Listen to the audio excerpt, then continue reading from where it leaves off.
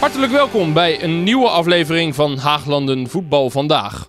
Met in deze editie. Top jeugdvoetbal komend weekend op Sportpark Bentwoud bij DSO in Zoetermeer.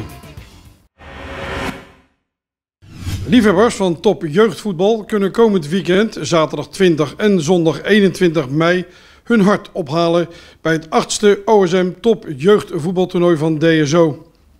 Daar zullen de sterkste jeugdteams, onder 14 en onder 12, van topclubs uit binnen- en buitenland de strijd met elkaar aanbinden. Haaglanden Voetbal ging alvast een kijkje nemen bij DSO en sprak met Etienne Kleinis, voorzitter van het organisatieteam. Inmiddels alweer de achtste editie. Had hij vooraf kunnen dromen dat het toernooi zo'n traditie zou worden? Nou ja, we hadden in ieder geval ingezet op vijf jaar minimaal. En uh, ja, dat, uh, dat ging hartstikke goed. Dus uh, ja, we hebben daar gewoon toch nog twee jaar aan vastgeplakt met dezelfde organisatie. En ja, we gaan nu aan de achtste editie beginnen. Dus ja, van tevoren wil je dat graag, maar je weet niet of dat gaat lukken natuurlijk. Als we kijken naar de editie van, van dit jaar, topteams die komen uit Engeland, België, Duitsland, Nederland. Noem eens wat bekende clubs die hier aanwezig zijn. Nou ja, goed. Vorig jaar hadden we twee jaar achter elkaar uh, Swansea. Uh, die hebben een nieuwe eigenaar gekregen. En die hebben ja, wat kranen dicht gedraaid, zeg maar. En daar hebben we nu uh, Hull City voor teruggekregen. Dus ook Premier League. Dus ongeveer hetzelfde niveau als Hull. En daar zijn we hartstikke blij mee. En ja, HSV is gewoon weer terug uit Duitsland. En ja, top van België. Anderlecht is er weer bij. En ehm, even kijken, wat hebben we nog meer? Derby, die komt die komt hier al een jaar of 5, 6. Dus uh, ja, dat is natuurlijk ook prima. Ja. ja terrein. Het is altijd voor de onder 12, onder 14. Hebben jullie ooit uh, overwogen om misschien een andere leeftijdscategorie erbij te nemen of in plaats te nemen?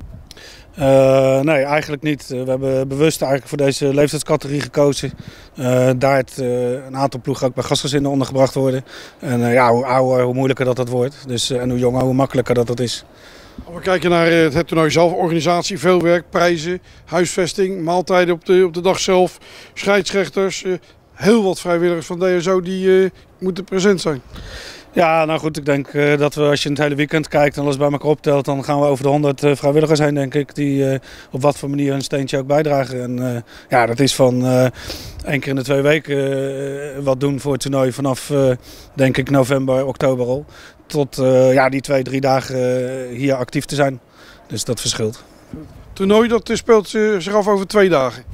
Het toernooi speelt zich af inmiddels over twee dagen. Dat wil zeggen dat uh, op zaterdag doen we twee openingswedstrijden per team uh, die hier al aanwezig zijn. Nou goed, uh, Derby en, en Hull City en HSV die komen natuurlijk niet voor één dag. Dus die komen vrijdagavond al aan. En daar spelen we zaterdagmiddag twee openingswedstrijden mee. En dan sluit daar ADO, omdat ze vlakbij wonen, en, en DSO uiteraard bij aan.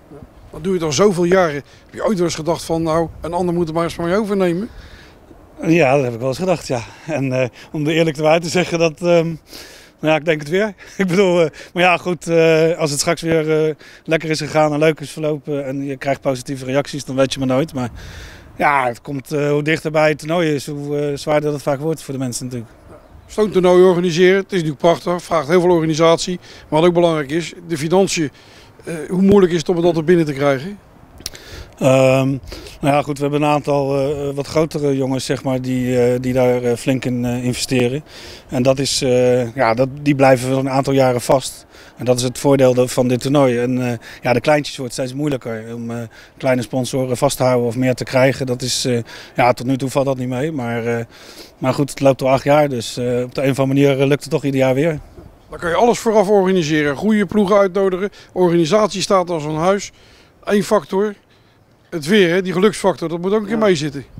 Ja, we hadden vorig jaar, wat dat gaat, aan de ene kant een beetje pech. Uh, zeker tijdens de finale en de prijsuitreiking. Dus toen kwam het met bakken uit de hemel. En, uh, maar goed, uh, ja, je hebt het niet in de hand. En we hopen uiteraard dat het lekker zonnetje is. En dat allerlei mensen kunnen komen kijken die ook nog kunnen genieten van het weer. En mooi voetbal kunnen zien. Ja, wat dat betreft kun je een oproep doen. 20, 21 mei.